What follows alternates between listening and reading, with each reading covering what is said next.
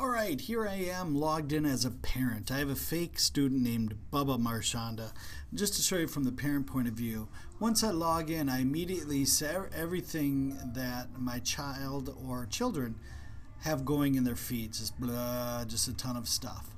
But if I want to go in specifically uh, to one of my children, I can go up here and underneath my name, I'm going to go in as Bubba right here, my, my child, my students, or my child, your student, as the teacher. And now I see everything that my child sees. I also can go into the groups. For example, Bubba is part of the Fuel Up to Play 60 Club, so I can see all that right here.